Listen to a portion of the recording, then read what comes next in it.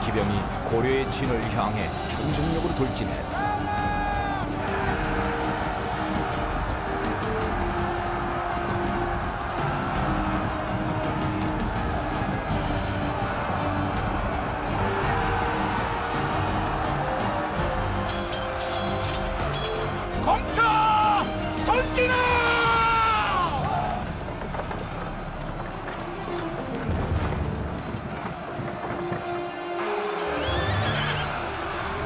거란 기병이 파고든 중앙에서 혼전이 벌어지며 고려군의 약한 틈이 생겼다. 자리를 지켜라! 절대로 진이 무너져서는 안 된다!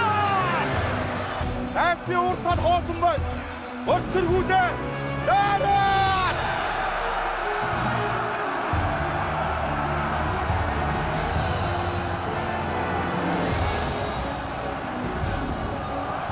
소배합은 기병들을 고려군 측면으로 돌격시켰다.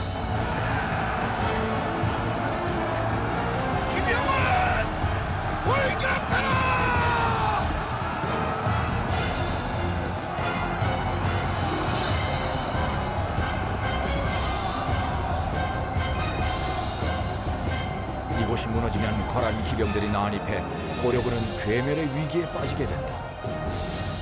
그것이 거란의 전략이다. 동아시아 최강 기병을 상대로 고려군은 사력을 다하고 있었다. 아직 바람의 주인은 바뀌지 않았다. 그리고 강강찬이 기다리는 것이 또 있었다.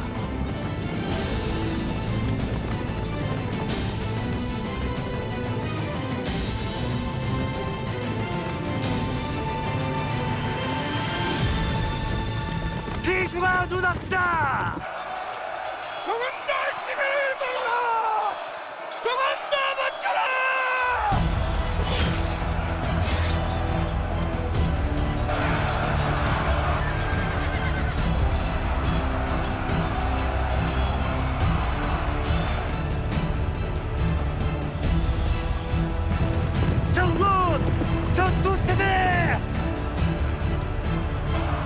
드디어 김종현과 1만 기병이 귀주 벌판에 도착했다.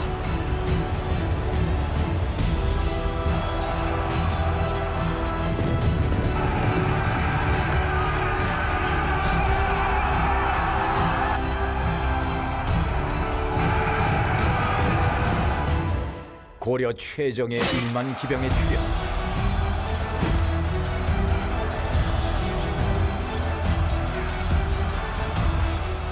뒤에서 고려의 정예 기병이 나타났으니까 크게 동요했을 것이고 조금 극도 혼란에 빠질 수밖에 없죠.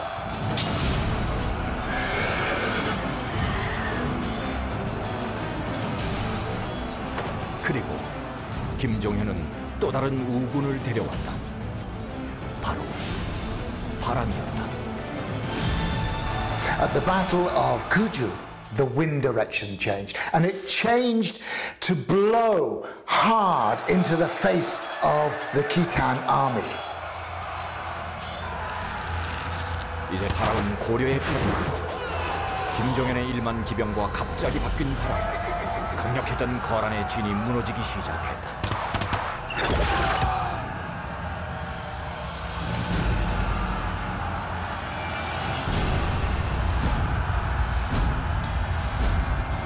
거란군 같은 경우 이제 목숨 구하기도 어려울 지경까지 이제 오로지 이제 본국으로 살아만 돌아가겠다라고 뭐 무기들 군장들 다 버리고!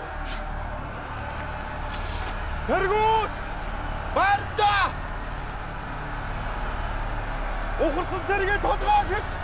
Okursun terige tozgağa git! 공포의 광풍이 거란군을 휩쓸었다. 오그란! 돌격하라!